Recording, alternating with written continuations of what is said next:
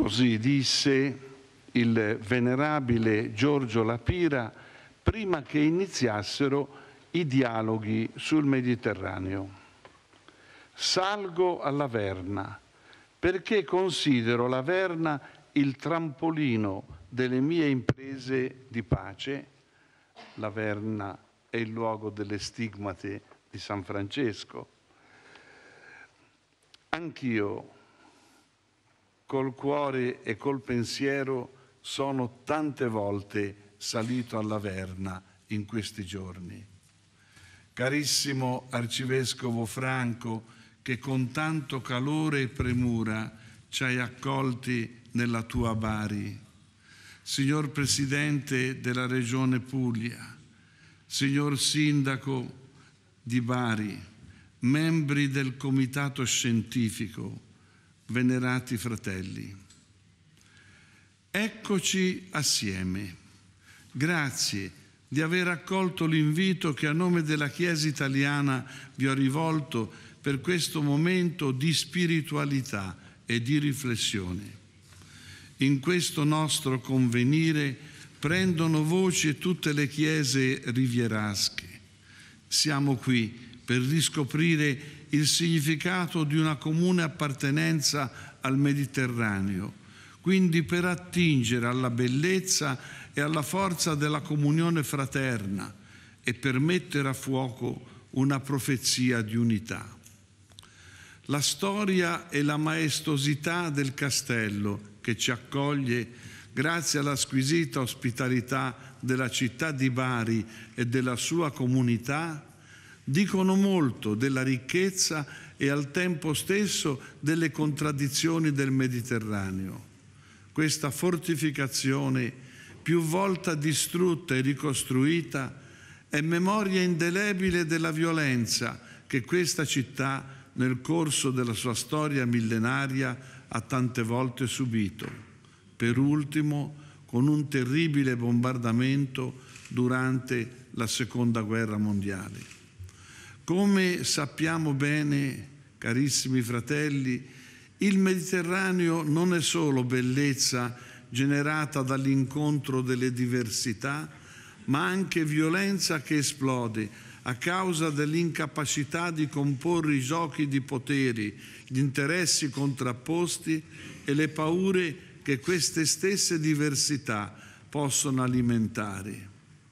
In prossimità del porto e della cattedrale, quindi del mare e della terra, questo castello testimonia che il Vangelo non giunge da nessuna parte se non incontrando la vita di persone concrete, col loro vissuto di lingue, di culture, di attese e di speranza.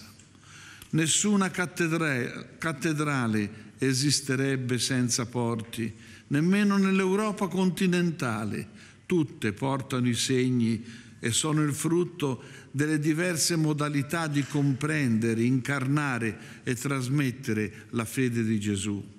Il Vangelo stesso, la vita cristiana vissuta fra i popoli, l'arte, la liturgia, la teologia hanno costituito costituiscono e possono costituire ancora luogo di incontro e di sintesi, di genio e di creatività culturale a beneficio di tutti. Vi chiederete quali sentimenti, quali ricordi, quali principi ispiratori sono all'origine di questo nostro incontro. Da quando ho conosciuto il sindaco santo di Firenze, Giorgio Lapira, il Mediterraneo ha iniziato a parlare al mio cuore.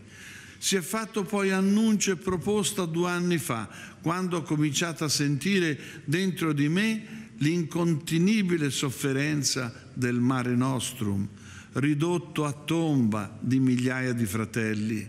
È così che mi sono ricordato delle parole pronunciate dalla Pira. Il Mediterraneo torni ad essere quello che fu. La peculiarità di questo ritrovarci non in un convegno culturale, né per una conferenza, è quella di esprimere il nostro modo più autentico di vivere ed essere Chiesa, che dà voce alle difficoltà e alle domande dei popoli che si affacciano sul Mediterraneo in un momento per tanti di loro che è davvero drammatico.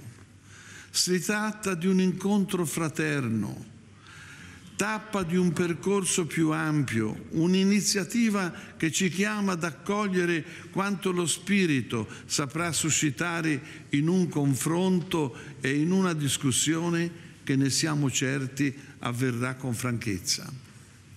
La comune appartenenza mediterranea delle nostre chiese, la nostra comunione con Petro e su Petro, la ricchezza delle nostre tradizioni ci indicano nel rispetto e nella valorizzazione delle diversità una vocazione comune, una vocazione che ci rimanda all'essere profondo della Chiesa.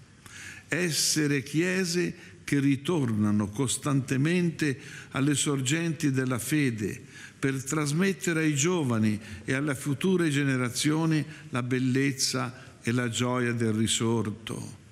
Essere chiese delle beatitudini, attente a far germinare una nuova cultura del Mediterraneo, che non può essere che cultura dell'incontro, dell'accoglienza, pena il disordine incontrollato, l'impoverimento diffuso e la distruzione di altre civiltà. Essere chiese della profezia rispetto ad ogni sistema di potere e di arricchimento che genera indifferenza, paure, chiusure e quindi iniquità, oppressione, guerre, crimini contro l'umanità essere chiese dei martiri mediterranei che sanno riconoscere i segni dei tempi e sono capaci di dialogo per disarmare ogni uso blasfemo del nome di Dio in odio al fratello. Carissimi, accogliendoci l'un l'altro, tocchiamo con mano la bellezza del mosaico delle culture e delle tradizioni cristiane mediterranee ma non possiamo non avere presenti i drammi che oggi vivono i nostri popoli. La bellezza e la sofferenza del Mediterraneo sono state presentati sin dalla preparazione di questo incontro che oltre al prezioso e competente lavoro del Comitato Scientifico Organizzativo si è avvalsa delle voci delle chiese mediterranee rimbalzate e diffuse grazie al servizio dei media, che davvero ringrazio di cuore. Alla nostra voce si è unita quella di tanti monasteri di vita contemplativa sparsi per tutta l'area mediterranea. Le monache si sono incontrate nella preghiera e nello scambio epistolare per offrirci il contributo della loro riflessione e sostenerci con la loro condivisioni spirituali.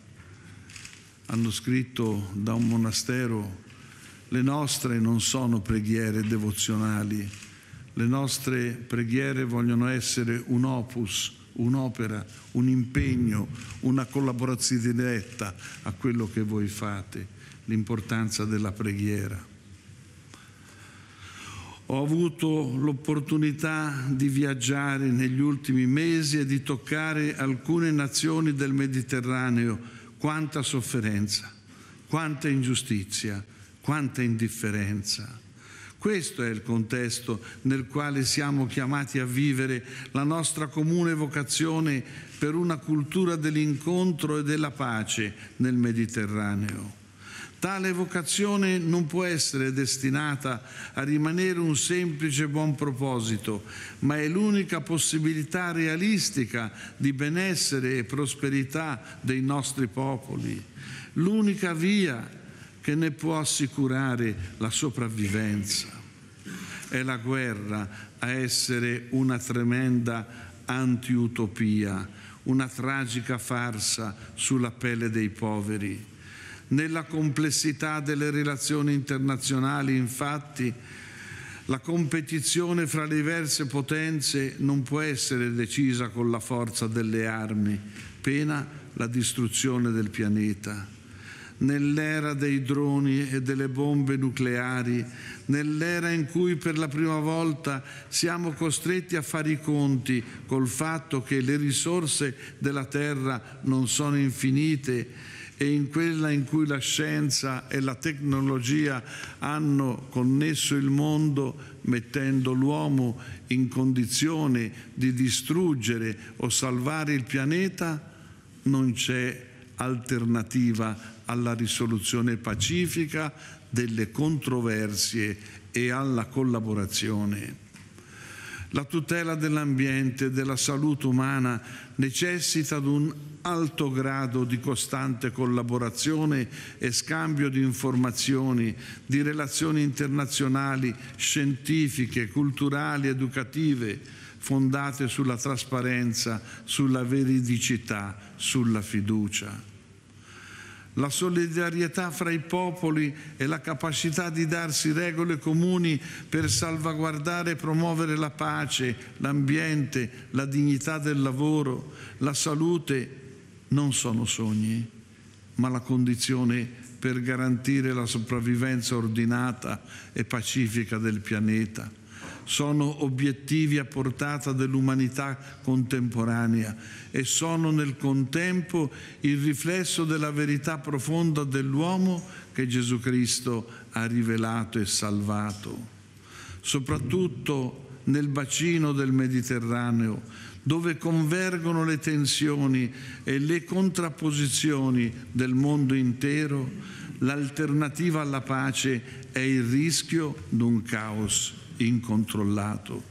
Gli scontri terroristici e militari procurano morte e sofferenze indicibili alle popolazioni inermi.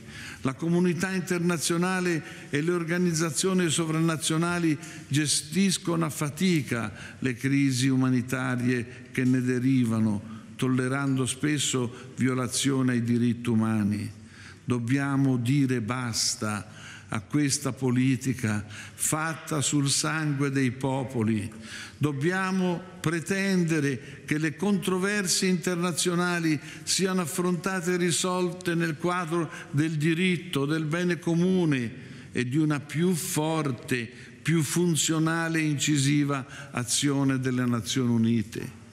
Né dobbiamo dimenticarci, cari fratelli, che il muro che divide i popoli è soprattutto un muro economico e di interessi. C'è una frontiera invisibile nel Mediterraneo che separa i popoli della miseria da quelli del benessere e non conta se al di qua, al di là di questa frontiera ci sono minoranze ricchissime e crescenti impoverimenti è stata tradita la promessa di sviluppo dei popoli usciti dagli iniqui sistemi coloniali del secolo scorso, mentre sono ridotte le capacità degli stati più ricchi di condurre politiche sociali inclusive. C'è un nesso inscindibile fra la povertà e l'instabilità non potrà mai esserci pace senza miglioramento di vita nelle aree depresse del Mediterraneo e nell'Africa subsahariana. Non potrà esserci sviluppo sostenibile senza che cambino le regole che sottostanno ad una economia dell'iniquità che uccide, come dice il Papa. Non potrà esserci arresto delle crisi migratorie e umanitarie senza che sia restituito a ogni uomo, ogni donna, cittadini del mondo, il diritto di restare nella propria patria, a costruire un futuro migliore per sé e per la propria famiglia e senza che a questo diritto sia affiancato anche quello di spostarsi liberi di partire, liberi di restare, è la linea che come conferenza episcopale italiana ci siamo dati nella nostra azione solidale nei confronti dei popoli impoveriti. Un triplice dono ci è stato fatto nel secolo scorso, in particolar modo col Concilio Vaticano II quello di riconoscere il valore della divina liturgia teologica e canonica delle diverse tradizioni cristiane della comunione cattolica quello di intraprendere il cammino ecumenico fra le chiese, quello di comprendere, a partire dal mistero che ci unisce al popolo ebraico, che il dialogo fra le diverse religioni è già testimonianza della gioia della risurrezione di Cristo e accoglimento del mistero della sua presenza di grazia nella storia degli uomini. Essere Chiesa profetica che vive della beatitudine dei poveri, degli affamati, assetati di giustizia, però non è possibile senza prima passare per il miserere. Dobbiamo riconoscere che fin dall'antichità cristiana le nostre divisioni ecclesiali hanno rincalcato e rinforzato le divisioni culturali, politiche, militari dei popoli mediterranei. Riconoscere il peccato della divisione della Chiesa ci aiuta oggi a capire la grazia che ci è stata donata al Concilio Vaticano II. La Chiesa rovesciando le crociate per usare un'espressione di Lapira e contrastando ogni mentalità del passato, partecipa con convinzione al cammino ecumenico, con la testimonianza della carità e della giustizia, così come pratica e propone convintamente il dialogo interreligioso. Per questo le chiese, e in particolare la sede apostolica negli ultimi trent'anni, si sono trovate sempre dalla parte opposta rispetto a coloro che soffiano sul fuoco dello scontro delle civiltà e del fondamentalismo religioso. Cari fratelli, le nostre chiese non sono diverse solo sulla base di antiche tradizioni che le sostengono e delle culture in cui sono chiamate a portare l'annuncio del Vangelo, ma anche per le condizioni concrete in cui vivono. Tutti però ci troviamo accomunati dalla sfida entusiasmante della trasmissione del Vangelo. Ci sono fra noi chiese che conoscono un incremento di fedeli connesso al fenomeno delle migrazioni, Così ci sono chiese che sussistono come minoranze, piccolo seme in mezzo a popolazioni islamiche. È soprattutto a queste chiese, alla loro mediazione, al sangue dei loro martiri, che dobbiamo l'anticipazione, la ricezione più profonda della dottrina conciliare sul dialogo interreligioso e. Con l'Islam. Fra queste ve ne sono alcune che a causa dei rivolgimenti geopolitici degli ultimi trent'anni, con le infinite guerre connesse, hanno conosciuto e stanno conoscendo sfollamenti, migrazioni, con i loro cristiani esposti a persecuzioni e minacce che rischiano di cancellarne la presenza millenaria proprio in questi giorni è stata colpita dal jihadismo una comunità evangelica in Burkina Faso con 24 morti.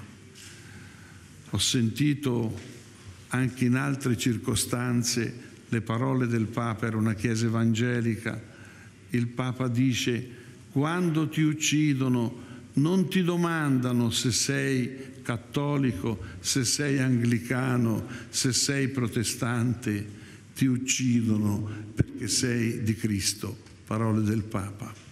Come non far nostra la testimonianza di valore altissimo espressa nel testamento del beato Christian de Chergé, martire in Algeria? Egli dice nel suo testamento, la mia morte evidentemente sembrerà dare ragione a quelli che mi hanno rapidamente trattato da ingenuo o da idealista. Vediamo adesso cosa è capace di dire, come la pensa, dopo che è stato ucciso. Ma queste persone debbono sapere che sarà finalmente liberata la mia curiosità più lancinante. E queste parole le ha scritte prima di morire il testamento. Ecco, potrò, se a Dio piace, immergere il mio sguardo in quello del Padre per contemplare con Lui i suoi figli dell'Islam, così come li vede Lui, illuminati dalla gloria del Cristo, frutto della sua passione, investiti del dono dello Spirito, la cui gioia segreta sarà sempre quella di stabilire la comunione, giocando con le differenze, fin quella testimonianza sulla sponda settentrionale del Mediterraneo, i processi avanzati di secolarizzazione, il congedo definitivo dell'eredità del passato e dobbiamo riconoscerlo, la stessa lentezza con cui stiamo rispondendo alle esigenze di rinnovamento suggerite dal Concilio, dalla nuova evangelizzazione e dalla conversione pastorale e missionaria, ci rendono attoniti di fronte al fatto che la fede è trasmessa solo a una minoranza delle nuove generazioni. Come aiutarci allora fra chiese ad abitare un'area mediterranea dove i cristiani sono dovunque una minoranza? Cari fratelli, pur con le comprensibili differenze, la trasmissione della fede nel contesto mediterraneo odierno è la sfida che ci accomuna tutti e siamo qui innanzitutto per questo, la sfida che ci accomuna tutti. Credo che sia necessario e utile non solo il confronto fra vescovi, ma anche l'impegno a far crescere la coscienza fra i nostri giovani, che la fede in Gesù risorto genera comunione di vita per la crescita e la realizzazione di un'umanità compiuta. Come far maturare concretamente questa coscienza della comunione nella diversità nei nostri giovani? Essi ci risultano talvolta indecifrabili, inseriti come sono in una rete globalizzata di relazioni e di appartenenze diverse, riflesso di un'epoca in cui la stessa velocità di cambiamenti mette in crisi le modalità tradizionali di comunicare il Vangelo e di vivere la comunità ecclesiale. A ciò si aggiunge la partenza dalle nostre terre di molti giovani in cerca di lavoro e di futuro, con ripercussioni immediate nella loro progettualità familiare e nella vita ecclesiale e sociale. L'Umbria dove io vivo è una piccola regione di 850.000 abitanti. In dieci anni sono partiti 10.000 giovani. Alcuni sono venuti a salutarmi. Perché te ne vai? Perché qui non c'è lavoro. Vi dico che rimango ferito, ferito come pastore dinanzi a queste affermazioni non vorrei sentirle più queste esperienze. Mi sembra di essere di fronte a quell'affermazione della Bibbia, pueri pezierunt panem, sed non era qui frangere in teum. Chiedevano il pane i bambini, ma non c'era chi glielo spezzasse. Carissimi fratelli, lo ripeto, Spero che questo nostro ritrovarci sia l'avvio di un processo che ci consenta di condividere e offrire ai nostri popoli una visione non frammentaria ma complessiva e organica dei problemi e delle ricchezze del Mediterraneo necessaria per superare le crisi che stiamo vivendo. Noi vescovi non possiamo continuare a vedere la questione dei migranti in maniera settorializzata, come se fosse solo un problema di esodi che impoveriscono i territori o di arrivi che li destabilizzano. Il povero che parte o che decide di restare che arriva e che purtroppo spesso muore durante il viaggio e conosce le sofferenze e ingiustizie indicibili, è Cristo che emigra, è Cristo che resta, è Cristo che soffre e bussa alle nostre porte. I problemi con cui ci misuriamo costituiscono uno stimolo ulteriore a superare noi per primi le barriere che attraversano il Mediterraneo e a intensificare l'incontro e la comunione fra noi. Ne avvertiamo la responsabilità e l'urgenza, convinti come siamo che la tessitura di relazioni fraterne è condizione per partecipare al processo di integrazione. Ho più volte fatto riferimento al dialogo interecclesiale, all'ecumenismo, al dialogo interreligioso. Essi sono luoghi teologici e pastorali, strumenti preziosi per la comprensione delle nostre realtà ecclesiali e per offrire il contributo alle sfide dell'area mediterranea in cui abitiamo. Abbiamo la grazia di vivere in una nuova, coraggiosa, coerente profetica fase di ricezione conciliare, inaugurata dal Ministero e dal Magistero di Papa Francesco, che con l'invito alla conversione pastorale e missionaria ci spinge ad una più intensa pratica della sinodalità che coinvolge il popolo di Dio nella sua infallibilitas in credendo. Il nostro incontro assume il metodo sinodale e vuole essere a servizio delle dinamiche della Chiesa del Mediterraneo. Per questo non abbiamo voluto che queste nostre giornate si riducessero a un convegno internazionale nutrito di dotte relazioni.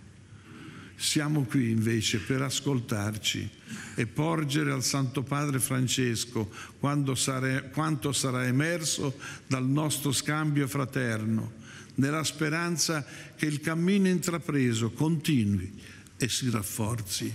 Lo dico forte anche della tradizione viva della Chiesa di Bari, dove col Papa Francesco si è vissuto uno storico incontro dei patriarchi del Medio Oriente. Il dialogo fra le religioni abramitiche a sua volta contribuisse a disegnare i fondamenti di un nuovo concetto di cittadinanza per far fronte alle sfide della globalizzazione del terzo millennio. Papa Francesco e il grande imam di Al-Zar hanno posto un atto profetico con la loro amicizia è il documento sulla fratellanza umana per la pace mondiale e la convivenza comune. Come nota il cardinale Parolin, in questo testo si intravedono le prospettive della comune e paritaria cittadinanza, presupposto e conseguenza di una vera fratellanza la questione della cittadinanza è cruciale per tutti, è questione che si pone in maniera nuova per gli stessi paesi di antica tradizione democratica e con le sfide dell'accoglienza e dell'integrazione dei migranti, dello spazio pubblico reclamato da tutte le religioni.